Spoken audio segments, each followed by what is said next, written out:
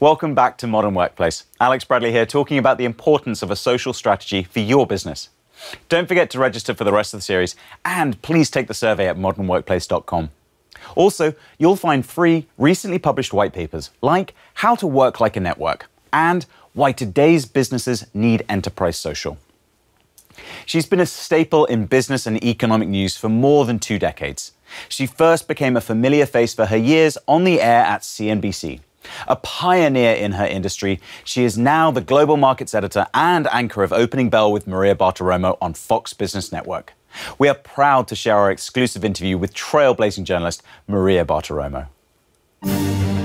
Maria Bartiromo has covered Wall Street for over 20 years. The Dow Jones Industrial Average kicking off the day at an all-time She has interviewed presidents and CEOs. Would love it if you can give us a status check in the business climate. She's an Emmy winner, a Gracie Award winner, adjunct professor, and author of multiple best-selling books. She won a Financial Times accolade as one of the top 50 people who shaped the first decade of the new millennium. Her coverage of markets has even earned her a place in pop culture. She has played herself in blockbuster movies and documentaries with A-listers like Richard Gere and Michael Douglas.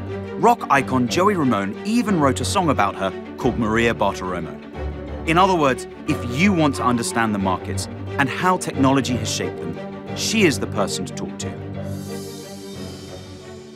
Now, you've had a really interesting career, starting off as one of the first live journalists with a camera, and not only that, but the first female journalist on the floor of the New York Stock Exchange. Yeah, I was the first person to broadcast from the floor of the New York Stock Exchange, man or woman.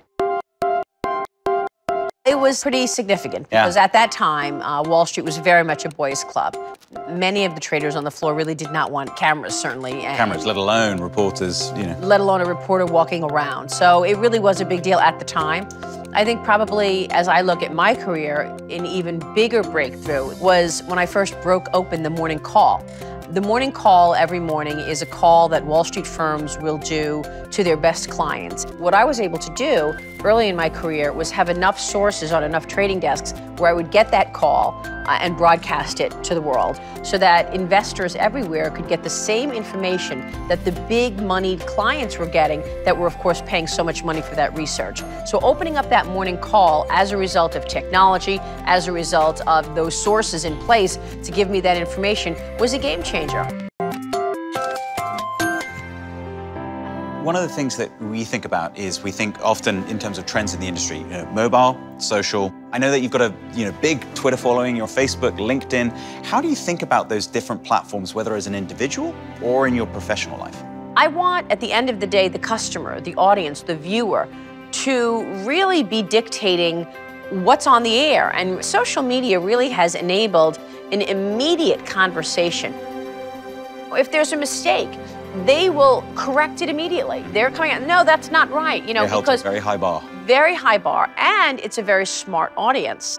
They're informed and they are global minded. I love my friends on Facebook and colleagues on social media because, again, I'm able to hear feedback immediately. Everybody wants feedback. It's a network of people exchanging ideas. I speak with CEOs all the time, and they all say the same thing. We have the jobs, we want to hire, but we cannot find the people to actually fill those jobs because the skill sets are not there. So there is a real skills gap that's happening as a result of people not adopting this new technology as quickly as it's coming out. And what do you think is behind that reticence of people adopting that technology? And what do you think we could do to better enable, you know, the workforce? It's education.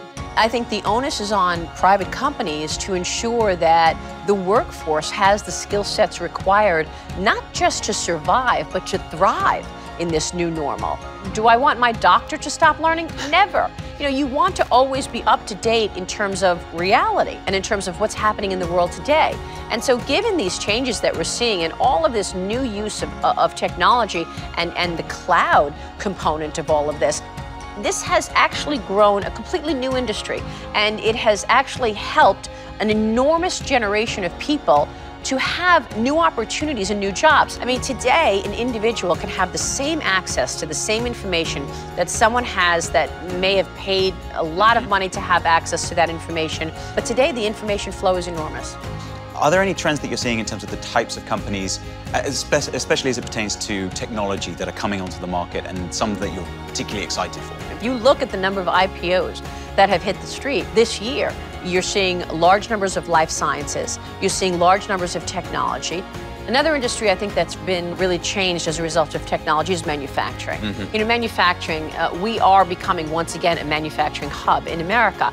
And, and we lost that for a long time. But with the use of technology and the ability to actually get so much data on what people want, sizing, production, as a result of technology, has also enabled that industry to grow again in the United States.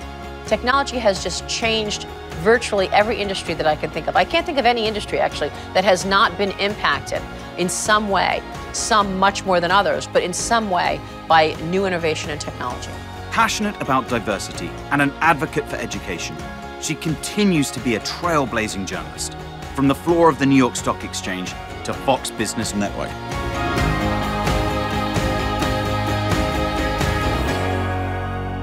The morning that I spent time with Maria, she interviewed people as diverse as Congressman Paul Ryan from the US House of Representatives through to the Dunkin' Donuts CEO. And it's that breadth of insight from politics to business that was really interesting. My takeaway from the interview was that Maria emphasized three very important points. First, immediate feedback from customers should dictate what's happening in your business. Second, smart customers are keeping tabs on you at all times, so stay on your A game. And last, not embracing new technology will put your business at risk.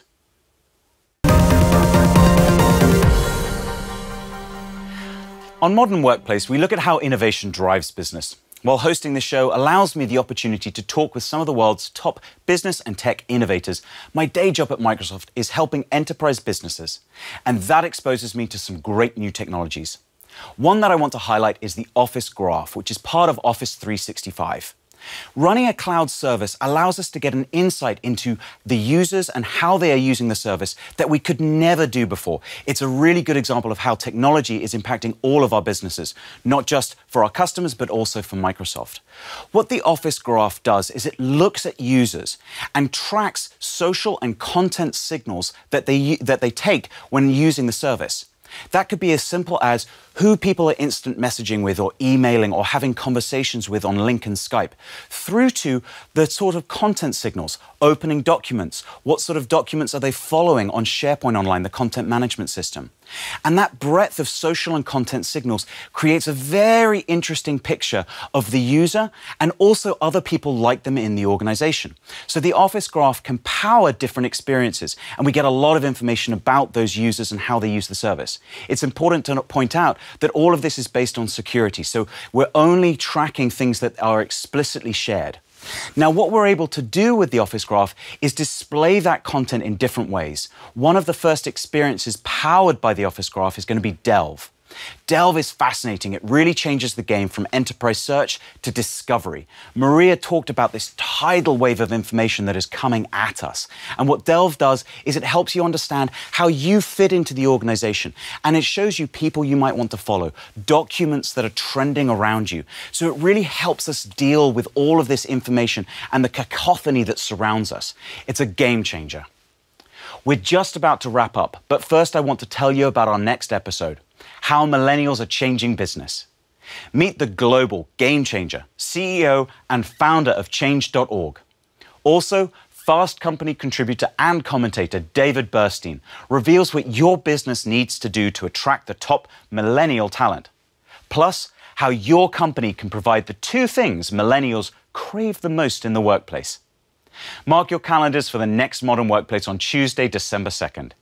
We would love to hear from you on what topics interest you or even guests that you would like to see on our show. Don't forget to register for the rest of the series and please take the survey at modernworkplace.com. I'm Alex Bradley. Thanks so much for joining us on Modern Workplace. Until next time, here's to making your business work better. Usually, I start my day at 5 a.m. I have a little bit of commute on my hands. It's two hours both ways, so four hours a day. That time on the train is where most of my quality work is done. Check out Yammer, check out things that are going on in the field, and start working. I've been in the restaurant world since I was 14 years old. It was a hard world, and I wanted that balance back that I didn't have for my family. I have a wonderful, supportive husband, and I have four great children. My youngest is 16. I love taking pictures of her because she's an amazing goalkeeper. I made the leap over to Jamba Juice, and it's the best thing I've ever done. That moment when I realized Yammer was a game changer for me was when I was able to get on the radar. Support Center leadership was active on Yammer, looking at our responses, commenting and liking what we were doing in the field. I became a training store manager very quickly. About a year later, I became a senior training store manager, and it opened the door. It's the knowledge that I bring from the field. I'm able to help not only our department, but also all the departments that we collaborate with a position was created. My current role as an associate manager of implementation. I'm A little bit of a success story. I was very active with Yammer. I was confident with the information that I was putting out there, and it exposed me. I'm not stopping here. I want to be a director. I want my own office. My name is Shauna Snyder, and Yammer helped me make an impact.